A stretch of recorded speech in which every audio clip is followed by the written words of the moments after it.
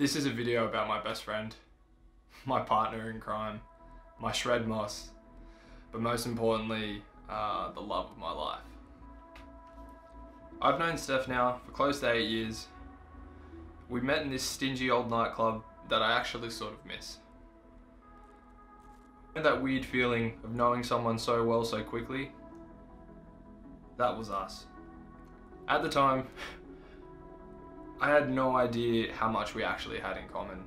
Uh, still to this day, I look back on how we were in the beginning of our friendship and it, it puzzles me that we never saw the signs so early on. Fast forward to the present, we've been together now for six years. Six amazing years. With so many amazing adventures, so many beautiful places we've gone and seen.